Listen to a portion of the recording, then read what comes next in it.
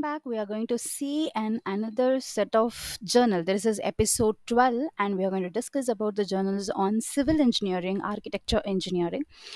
And uh, um, before we proceed, I would like to tell you that this is my channel. If you haven't subscribed yet, please go and subscribe now. And you can find a lot of useful uh, playlist here. So the first playlist, which will be definitely useful for you, is what the SCI Scopus and Annexure 1 UGC CAS journal.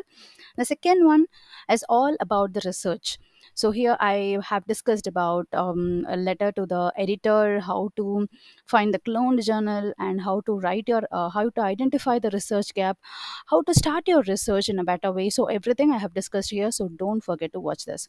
If you have any queries related to your research or if you want to um, uh, if you want a, a resume review or mock interview or something so you can just schedule a call with me. You can find the link in the description so let us go to the first journal. Okay civil engineering and architecture. This is scopus indexed journal and you can see that it is showing from 20, 2018 to present. So throughout this i'll be talking very important aspects of, um, of finding the journal uh, submitting your article and what are the key terms and key points which you should keep in mind while trying to submit your journal. So the first important point which you keep in mind is what this. So here it should show like present. Okay i am discussing this in the month of april 2024 if you're watching this video uh, maybe after three months like uh, july 2024 or august 2024 please come and check the scopus database again before you submit. This is very very important the second thing is what the subject area. Okay these two things you have to check. And once you have checked this just select this right click and then you can see the journal here. So it's a horizon research publication and this is your civil engineering and architecture nowadays i couldn't see the journal link here in scopus. Previously they used to uh, add the journal link but nowadays i couldn't see that. So you should be very careful to cross check the issn number okay? There are other local journals or there are other uh, not proper journals which are also having the same journal name okay? So you have to cross check the issn and eissn number so you can see here this is ISSN that is 23321091. So this is 23321091 and uh, second one is 23321121. So yes the ISSN uh, public uh, ISSN numbers are same. Then you can just go ahead with this. So here you have to check for the aim and scope. This is another important aspect while you try to submit. So if your article is under the scope of this journal then please proceed or else please go back and search for the another journal okay? So here you can see the aim and scope. This is what the aim and scope. You can also see the indexing okay under what it is indexed. So of course we know it is already indexed in scopus okay? You can see other indexings as well. Okay it is not indexed in sci or ugc care uh, it indexed in google and everything it's fine. We need a google index uh, scopus indexing. Then just draw, draw uh, can just scroll down and see the journal information. The journal information might be sometimes on the top. Sometimes it might be in the left side. So you have to be very careful to check that. Then you can click on the guidelines. So guidelines is an, another important one for the authors okay. So you can see this manuscript submission what is you have to submit in the word or latex format. Okay. And if you scroll down you can see the authors. You can some uh, download your template here. And how many pages or how many words it should be paper title what is the paper title? How long it should be? Author details how your details should be? And um, abstract everything is given here. This is what the complete guidance to the editor sorry to the um, uh, authors okay? And plagiarism policy this is very important. You should you should think okay? And you can see here how many days they are taking manuscript review. Initial screening it will take 7 working days which means it's a fast publishing journal.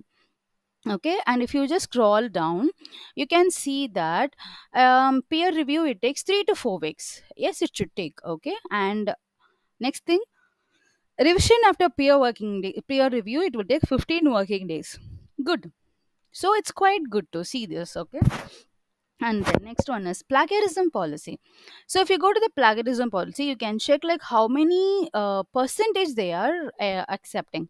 Sometimes they will not um, uh, they will not uh, specify like how many percentage sometimes they will specify. So it will it they are telling what tool they are using. They are using turnitin plagiarism detection avoid self plagiarism and do not uh, do not copy portions of one of your own co- content. So what how you can avoid plagiarism? So completely they have given here. Okay? And then acceptance letter. After the revision process qualified manuscript will be accepted for the publication within 7 working days and that letter should be sent within 7 working days. Then regarding article processing fee we promise readers don't pay for the subscription fee to the only some of the um, uh, some of the uh, costs like editing production peer review maintain. So these article processing charge are only used to pub support. Okay so you have an article processing charge. Let us also see that. So proofreading it will take three working days. So everything they have clearly mentioned here. Okay so in that case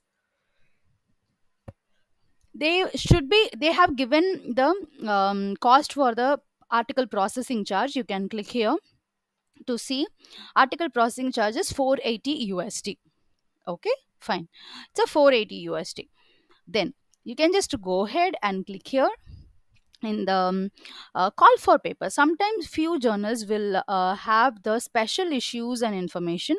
So you can click here to understand about the special issue guidance call for special issues and everything. So when they are calling for the special issues you can find it here. Okay? So all these things if everything goes well then you can submit your journal here. Then let us go to the next one. Next journal which is journal of architectural institute of korea.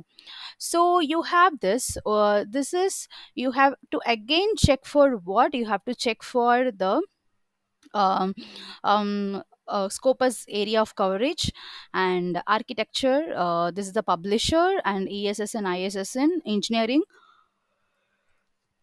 building and construction and everything. So this is what journal of architectural institute of korea.